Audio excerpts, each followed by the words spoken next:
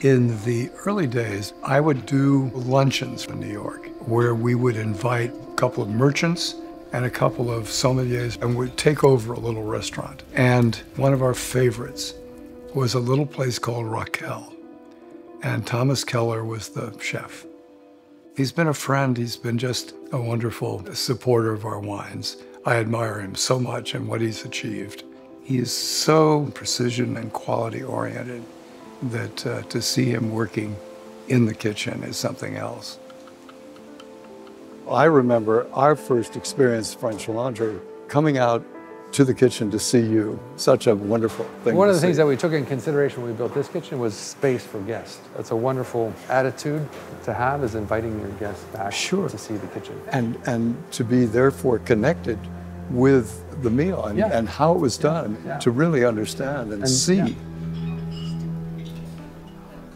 But reference points have always been very important to me. We talk about things like macaroni and cheese, which was on the menu, or even the coronet, which looks like an ice cream cone. So you get Exactly, the these, yeah, you get these memories of childhood. You know, a sense of comfort, a sense of joy, a sense of discovery. And so if we can establish a, um, a connectivity to an, an earlier time in your life, but then kind of shattering that with a new paradigm, right? This, oh my goodness, I've never tasted macaroni and cheese like this, or a savory ice cream cone, or coffee and donuts like this. So that's kind of what we do with, with our food. Well, you know, in terms of memory, what I realized gradually was that the modern techniques that had been developed were making wines that, to me, were not as complex as that old traditional approach. And so everything we do are basically based on late 19th century techniques in Bordeaux and California. And it's worked. Yeah.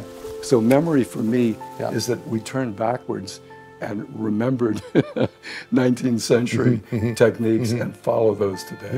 Yeah, which are which are the, the foundation, you know, Yeah. for everything, and that's what we do with our cuisine. We have to have a foundation to really build from. That's- Otherwise, it's just um, it's just superficial. That's it. and, and we don't need that in, our- in our life.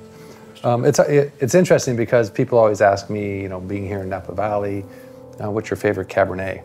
And I, you know, I, I struggle with the answer because I have lots of friends here and you know, um, longtime friends, and so I'll name a few. Um, but then I'll always say, you know, but my favorite Cabernet in California is Monte Bello. Oh, that's And you know the reason I do the reason I, I mean it, no you just you brought up the point about using the, the, the old world um, as your as your foundation. And it's elegant it has finesse um, it ages extraordinarily well. It doesn't it's not overpowering. It, it's it's just such a such a beautiful experience um, to drink to drink a Monte Bello. I think I joined the ATP program in the early 90s. Sure. Um, And you know, I- I'm always excited when I get that box from Ridge with the different, you know, either Syrahs or Petit Syrahs or mostly the Zinfandels. And you know, Zinfandel has always been one of my favorite varietals. And the Lytton Springs, it's such a beautifully complex, um, nuanced uh, wine that that just, for me, you know, it touches all those buttons in terms of sensory experience. You know, it's just a testament to the quality of work that you do, the work that your vineyard managers do. Right? It all comes together. It's it's like it's like a kitchen in many ways, oh, right? I mean, we you know we, we're relying on Mother Nature to supply us with beautiful ingredients, and then we just need to make sure we're being respectful to those ingredients and producing something that's wonderful and, and enjoyable for people. Exactly. You're, you're Yeah. focusing, you might say, on, on terroir in your ingredients. Yeah, always. And the, the fact that you've done this for this length of time has just astounded, and, and I have so much admiration for, Thank you. for what you've done. Thank no, you. really. One of our prized possessions God. is our selection and collection of the different ridges. I had no idea. I mean, I knew I knew you had some some good ridge, but to see this is something else for me. Oh you're on Dynamite Hill from York Creek, that's Mm-hmm. Yeah. amazing to have all this. Yeah. Oh gosh. Old school. Yeah. All these years knowing Thomas as I have, I had not realized what you what you were doing here with this. I mean, I knew you. Try with something like this today. Oh, Could be kind wow. of fun. Now, So this was the year that I opened the French Laundry. It was 1994. fantastic. So it's really nice to have Oh, wine that'd from that. great. From that, Sure, from let's that do to it. This very exciting,